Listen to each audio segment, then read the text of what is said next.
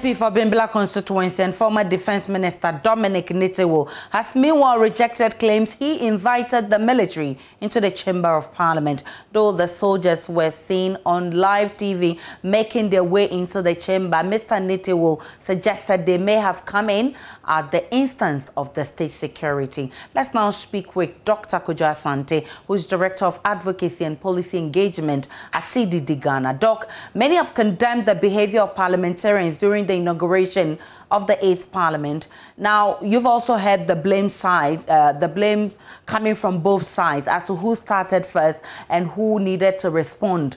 But should this be the conduct of parliamentarians? Yeah, good evening to your viewers. Um, yeah, sorry about the audio. No, I think I, it was, I mean, to say the least, appalling and on and on uh, at some point it was you know extremely embarrassing. Um, there's so many issues that that that whole event has raised you know for us that we need to reflect on. But a lot of people did not cover themselves in in glory. And uh, this will be on youtube for many years to come. And uh, their their children will see uh, some of the, the, the terrible behavior that you know they they engaged in as they try to resolve this stuff. And and really, uh, I mean, one would say that at least there should have been, um, you know, many days before we even got to this point, there should have been a real serious effort between those, both parties to try to resolve some of the issues before coming, you know, to this day, because everybody knew that there was a lot of acrimony, there was a lot of mistrust around this issue, and there were all these attempts by both parties to try to, uh, you know, weaken one side or the other to affect the uh, uh, what's it called the uh, the uh, the numbers for the election of the speaker.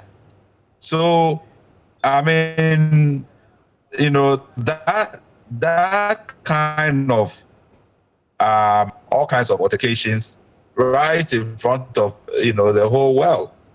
And there was there was it, it doesn't seem to be that there was any real attempt to try to negotiate and build consensus before coming to this point. And now we were left with you know uh, this process. Fortunately, we were able to at least find a compromise, but a lot of damage has been done, and and and and, and uh, I mean the condemnations go on, but for me, I'm, I worry now more even about going forward, particularly because we were hoping that the NDC would, you know, build on that. Uh, it seems like everybody have returned to their their positions and they are going to continue this type of acrimonious behavior uh, this parliament. And if that is going to be the case, it's Ghanaians that will suffer because no business will be done. Doc, many uh, have, you know, in, in, in Parliament. Uh, the clerk to Parliament has also been blamed for not being firm, the reason the situation degenerated. You agree?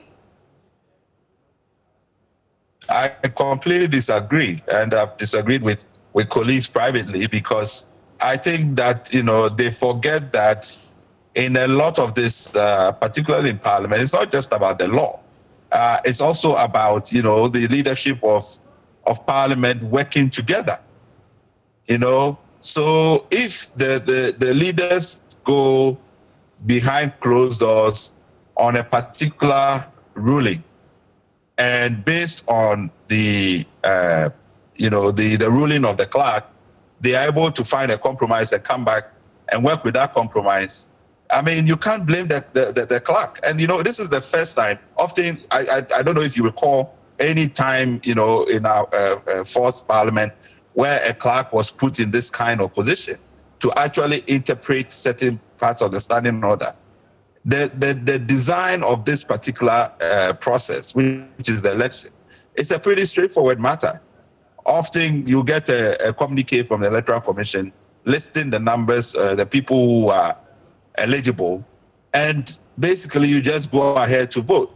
But of course, these late challenges from um, you know the, at the courts, some coming as, as as late as 5 p.m.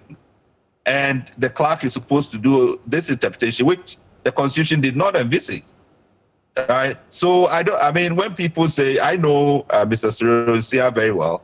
Uh, he's a very calm person. He's seen it all. Uh, so it's not a matter of firmness as in shouting. Uh, I mean, are people suggesting that he should be ordering marshals to remove uh, leaders if, if they didn't sit down or they were misbehaving? It doesn't work like that in Parliament. You know, so um, you know, he tried his best within the scenario to work with the leaders, allow them as much latitude to express themselves so that they can find a compromise. And then, you know, because the, the speaker, if the speaker was there, basically the speaker will carry the will of members, right? And often they work together to make sure that they can they can all reach a compromise. So I want to put the blame on the clerk. I think the blame has to go to the leaders of, of, of the two parties who set themselves up for this, you know, very disgraceful act. Um, and for me, the key is how do you move forward? Because it looks like, as I said, they've returned to their posture of, of you know, everybody standing their ground and and refusing to you know to compromise. but that, the, that is not going to help them. The, and if that, it doesn't help them, it doesn't help us. The, the highest disappointment for many, though, was uh, the invasion of uh, armed military officers into the chamber. What do you make of this scenario?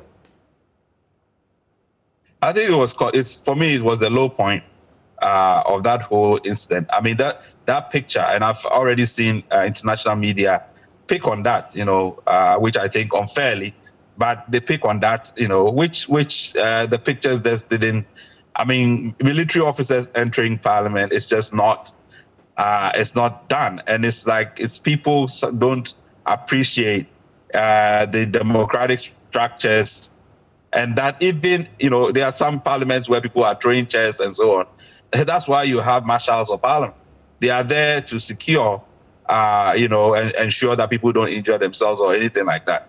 If the marshals are overwhelmed or feel that they need more people, that's a different, you know, scenario. They should be in control at all times.